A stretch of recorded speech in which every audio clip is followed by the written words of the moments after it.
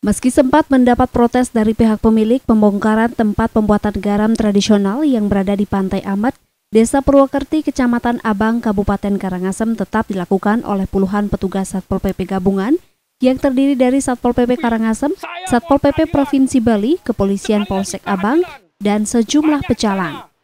Warung-warung yang berdiri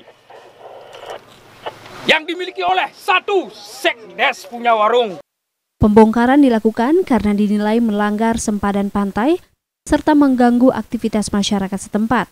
Selain itu, pemilik bangunan juga mengindahkan surat teguran yang sudah diberikan tiga kali oleh petugas Satpol PP. Kabit Rantib Satpol PP Provinsi Bali mengatakan pembongkaran dilakukan karena telah mendapatkan keluhan dari masyarakat. Selain itu, warga juga dihimbau agar tetap mengikuti peraturan. Tidak ada keluhan dari masyarakat, laporan kepada Satpol PP Kabupaten diteruskan ke kami ke provinsi. Jadi kalau dalam pelaksanaannya kan kami minta juga untuk kabupaten betul serta dalam pembongkarannya. Hmm, Pak infonya ini banyak yang melanggar-melanggar di warung-warung itu gimana? Betul. Makanya kita kan lihat dulu persoalannya. Kalau itu eh, sepadan pantai yang dimanfaatkan oleh masyarakat yang masih sifatnya knockdown atau uh, no, apa namanya uh, tidak permanen kami akan pertimbangkan. Tapi secara pelan-pelan ya secara pelan-pelan kita arahkan untuk uh, masyarakat juga biar taat lah taat aturan lah. Kalau semua begini kan rusak ini pantai. Sementara pembongkaran ini juga diprotes pemilik tempat pembuatan garam tradisional.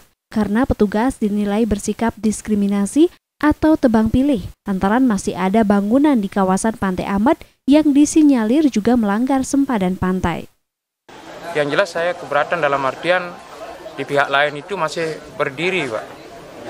Kalau memang sudah ada aturan yang jelas, saya mohon itu biar berlaku untuk semuanya itu, bukan untuk diri saya sendiri, Pak. Hmm. Berarti langkah Bapak ke depan seperti apa Pak langkahnya? Yang jelas saya akan menghadap Pak uh, Ketua Dewan dan Ibu Bupati. Untuk mencari jalan keluarnya. Iya, untuk mencari jalan keluarnya. Apa dalam artian garam amut yang merupakan garam salah satu garam yang paling unik di Indonesia itu sudah tidak ada jalan keluarnya sebab saya saja yang masih memiliki garam di Amut. Dinilai masih banyak bangunan yang melanggar sempadan pantai di wilayah Kabupaten Karangasem, petugas Satpol PP akan terus melakukan pengawasan dengan intensif untuk mencegah pelanggaran yang semakin meluas.